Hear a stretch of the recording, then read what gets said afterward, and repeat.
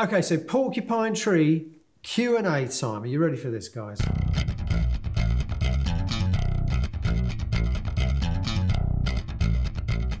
Question from Luke uh, from Canada. When you write odd times, do you decide the time signatures beforehand? This is definitely one for you, Gav. Or does it tend to come out when experimenting, playing with riffs and phrases and so on? Yeah, I don't think. Well, I certainly don't deliberately set off to write something in a particular time signature. A song like Herd Culling, although it's in 11, doesn't feel like it's in 11 to me. Uh, sometimes when I'm writing rhythms, I just follow my nose and I find a repeat point and I play it and I think, actually, I don't know what time. I'm just enjoying what it is at the moment. Uh, once I've played it a few times, I can say, okay, well, I can work it out now. All right, it's in 11. But, it, you know, I don't compose rhythms by numbers or think of it in that way. You know, the audience don't necessarily have to know where the bar lines are. Sometimes people misunderstand where the downbeats are. Uh, what was that song we did? Bonnie the Cat. It's all in 4 4. Lots of people said to me, What time signature that song in? You know, it, it was all in 4 4, but people just misheard it by the way that you can place beats in odd places, can make people think it's in a different time signature, or sometimes an odd time signature can sound like it's in 4 4 if you're sort of smart with the way you place the accents. So, question number two, and this is Colin from the United States. Steven has often said that he writes songs in batches around a certain theme. Is there a theme or concept to the forthcoming album? Um, Colin, I think I can answer that. I actually answer that question in a single word. No, there isn't this time. I think the concept is the closure continuation. It's the band Yeah. itself. But that's more a visual, yeah. You know, is this going to be uh, the last thing, or is it going to be the start of something else? Um, I think every Colin. track has its own. It vibe, does. doesn't it? I think, Colin, that would have been more likely if we'd written the album in a fairly uh, compact period of time. But because it was written over literally 10 years, um, every time I came to write lyrics, my head was somewhere else and I was interested in something else. So for once, there isn't that kind of central thematic aspect, uh, certainly to the lyrics anyway. Um, question from Hank from the Netherlands. Richard, is there one thing you took from the time of Japan to Porcupine Tree? Uh, myself. um, I, I just think my approach to music it hasn't it hasn't really changed. Um, I'm still approaching rock music, pop music um, in in a slightly different way, and it's my weird kind of relationship that I have with music that that comes through. Um, not being a technical player, being almost a non-musician. Um, I'm focusing on other things, and it's the things that I did in Japan that I think got me first working with Steven. He liked a lot of the stuff I'd done in the past, and I just tried to bring that to Porcupine Tree. Jonathan from Mexico, do you still think the mainstream music is still in decline? Uh, what are the difficulties of being a musician in the 2020s, the decade of the 2020s? Yeah, I think so. I, I, I think one of the problems is it's not that music isn't still fascinating, there's great music out there, but the, the um, engagement with music uh, is lesser than it used to be because there are so many more things to distract not not only kids but us too. You know, uh, I, like many people, I'm constantly obsessed with my phone and checking my email every 10 seconds, and and uh, it's hard to focus now on anything for any length of time. So, and I think that has, by by definition, that's had a strong knock-on effect in the way people engage with music, and so the really interesting music I think is happening outside of the mainstream. Uh, there is some good music happening in the mainstream, but but I think a lot of the more mainstream music has gone back underground in a way that perhaps wasn't true right through the 60s, the 70s, and 80s. There was a lot of extraordinary experimental music that was really right there in the mainstream, and I don't think that's been true for a very, very long time. And of course, there are always exceptions to that rule, um, but they are exceptions. First of all, Alan from KR, I assume that means Korea. Um, well, it does. Any chance you're touring? Rock, it? no, no. Wait for the question, Gavin. Any North or chance? Any chance you'll tour in Japan or South Korea? Oh, And what song are you got? Blimey, what's his money's worth? This bloke. You got two questions, right? Okay. Any chance you'll tour in Japan or South Korea? Uh, well, there's none planned. funny enough, we've never really been that successful in Japan at all. Well, you were Yeah, of course, in the good old days. of course, but um, yeah. yeah. Even me, halcyon even me being in the band has, has lent it. Has been of no help Even that didn't do it. No assistance in, in helping us in Japan. We'd love to go there. We, we, we love being there. Love Japan. Yep. Yeah. Never been to South Korea. Have you guys been to South Korea? No, I'd love to go. No, I'd love we, to go too, We'd yeah. most certainly love to go. Um, again, it's a case of will there be a big enough audience for us? Um, we'll try to make it work, but sometimes you can't if there there just isn't the demand. Um, possibly with Australia and Japan, Korea, it's a possibility. But I think we're not ruling anything out. are we certainly wouldn't No, rule out going no. there because it's it's a Even North Korea? great part. Uh, Well, let's see. Yeah. See what the fan base is like. yeah. Yeah. One song. What song are you guys most thrilled to play live this time? Choose one from the new album. Well, uh, Harridan's going to be really exciting. Yeah. What to see if I have a heart attack Yes. playing it. Yeah. Let's see if Gavin can get See if I'm still alive at the end of it. Yeah, Yeah. I, I think. All that- right. It's- it's- And uh, from the back, end- well, we'd be giving something away then. I mean, there's a track that I'm really looking forward to doing that we haven't done before, but Yeah. um, Uh, Anesthetized is always fun to play. Isn't Oh, it? yeah. yeah. Yeah. it's always fun to play. So we're playing that. You going to get through that one, Gav? Anesthetized? are we doing um, Under the Moon of Love? Do yeah. Yeah. Creator, you going to bring the, the high, hi hat Well- this time? No. I'm I'm not made of hi hats, you know. Right. Jair, Jair from Hungary. What is your opinion on shoegaze? I love it. You have any favourite shoegaze bands? My favourite shoegaze, but probably the, My Bloody Valentine. Uh, that Loveless album is extraordinary. Uh, Slowdive I always liked. Um, I'm not sure what shoegaze is. Cocteau Twins shoegaze? Cocteau Twins kind of proto shoegaze. Yeah, Cocteau Twins amazing. Yeah, you like them, don't you? Yeah, there's a band I like called Beach House. I don't know them. I think that might be a bit shoegazy. Um, Cigarettes I After really Sex. like are them. they shoegaze? Do you know that band? I don't. I don't. That's a bit shoegazy. What's your favourite shoegaze band, Gavin? I'd have to say the best of Shoegaze Volume 1. Yeah.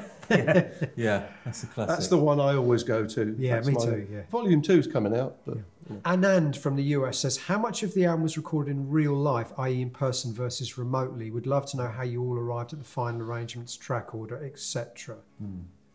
Well, I think sh- in brief, Steven and I can work remotely. It seems to work because I'm sending him kind of sketches and sound, sound design, and and I don't know various different demos that I've done that he he kind of picks and chooses elements. Steven and Gavin, it's it's more being in the room together and working on working on things in a more kind of immediate way. But I think it's fair to say if it hadn't been for lockdown, we probably would have done even more of it in person. But by, by necessity, we had to do, obviously, the last couple of years' work on the record, we had to do remotely. But I think most of the basic, uh, four or five of the tracks, the basic tracks came out of jams to myself and Gavin. So that was a very kind of organic, live in the room um, environment. Alex from Britain says, if you never got involved in music, what would you all be doing? God, don't know. Was it a case of what we'd like to be doing or what guess. we I mean- feasibly Yeah. could have been doing? I think Probably. let's stick to what you'd like to. You imagine in your dreams you'd have been What doing. would you have become? Well, probably Formula One world champion, right? in my case. really? No. I'd, I'd like to have been involved in sports in some way. I mean, I've always loved sports. Um, so it would have been nice to be a professional sports person. I'd, I'd love to have got more involved in the world of cinema, films, filmmaking. Um, it's my second love after music, so I'd like to think that I might have found a way to go into um, some some role in, in cinema. That's for sure. I, I don't know. Formula what, One, Formula One. I don't know what I would have done. Yeah. Um, a surgeon. I'd like to be a surgeon. That's a terrifying thought, Richard. Lucas from Chile says, What is it like to revisit older tunes after all these years? Do you think your trajectory and all the projects of you all of you undertook after splitting up might take older tunes in new directions, arrangement and sound wise? It's A good question. Yeah. I suspect so. Yeah, I think so. Um, the honest answer, Lucas, is we haven't got that far yet. Um, because we've been concentrating, obviously, on recording the album and and uh, working how we're going to play the new songs live.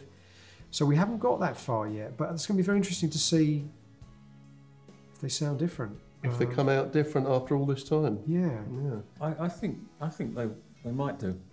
What, like reggae sort of disco? No, thing? not different genre as such. Not that far. Um, but I'm working with some different equi- equipment, different uh, synthesizers, so I think there'll be there'll be a slightly different uh, angle to it from my perspective. And probably we're going to have some new members when we get to live as well, um, who obviously will stamp their own personality on the material. This one for you, Gav. Matthew from the States says Porcupine Tree has some of my favourite drum parts out of any band. Um, I wanted to ask Gavin if he has an all time favourite drum groove to play over the years from the PT catalogue. I don't know. I mean, I don't really think of things in like, oh, that's my favourite. Or uh, it's more like, oh God, I hate this. I don't want to do this. I want to get off stage as quick as possible. Um, I think, you know, some of them you start off at the beginning of the tour enjoying playing one song, and then by the end of the tour you much prefer playing other songs. It's more about the live performance than the actual mechanics of, oh, I want to play this rhythm. It's how you sort of feel during the concert when you play it. Peter from Hungary. Oh, this will tell you a lot about the band dynamic. My question goes to Gavin and Richard. Do you have a favourite Steven Wilson solo album? Gavin, the best, you'd have to say, Yeah, the Best. first, the first one, the best. the drumming's great on it. Yeah. Um, Oh, yeah, Gavin's on the first one, yeah. yeah, I'd have to say that heard, is isn't it? that is my favourite. And even that I didn't listen to, and I played on it. I just I played a couple of bars, Oh, Steve, and I just looped it. Yeah. Um, And you think he's joking. Albert from Austria, I think, or Australia, AU? Austria. Austria. What has been the most creatively fulfilling aspect of Porcupine Tree for each of you? Albert, who runs a Porcupine Tree podcast. Did you know about that? Did you know we had a podcast? No. He doesn't. No, I a I don't know that. No. What has been the most creative, ful- creatively fulfilling aspect of Porcupine Tree for each of you? I think actually this this new record, I think it's the most collaborative thing we ever did, and it it you know creatively, um, I think it's the it, you would say that wouldn't you when it's your new album, but I actually I genuinely do think it's it's the best one we've done. I'd agree with that um, in terms of the, on the creative side. Um, it feels the most involved that I've been with something. Even maybe I'm playing less than on some of the other albums. I'm not sure, but it, it feels that there's more of me in there. Um, you know, with with when Steven in the past would write demos, there were certain things that would be written in stone and that were good, so you didn't want to change them. But on the other hand, it, it might have limited the amount that I could do on a track. Um, whereas in this case, you know, we've both started songs from scratch ourselves, um, so that that definitely feels different to me. Yeah, I mean, I concur with that really. I think that there's something about this album, the way we made it, truly collaborative in a way that perhaps it wasn't in the past. And also the fact that um, everyone has got an equally important kind of and very distinctive role to play in what we've created. And it's shot through every moment of the record. Sam from Italy says, Steven Wilson, his music has always evolved with time. How do you think Porcupine Tree's music moves forward in reference to the musical genre of the past and present? I, I feel, honestly feel like you get to a certain point in your career where you transcend um, those kind of questions and you simply have defined your own musical world. You've created your own musical world and you're simply operating within that. And that gives you an incredible feeling of power and confidence. And I think this album kind of reflects that in a sense. It's quintessentially Porcupine Tree, but it's unlike any other record we've made in the past. And um, and I think that's something that's happened with the benefit of time, experience, and confidence. And not really giving a fuck whether, you know, it pleases people or not. That's a very important point, I think, for any artist to get to that point. Poto from Mexico. Could you say this? Natalia, if you're watching this, would you forgive me? I care for you unconditionally. I hope you're doing well. Happy New Year. Signed, Potori. Potori. Depends what you've been up to, Pretori. Yeah. Yeah.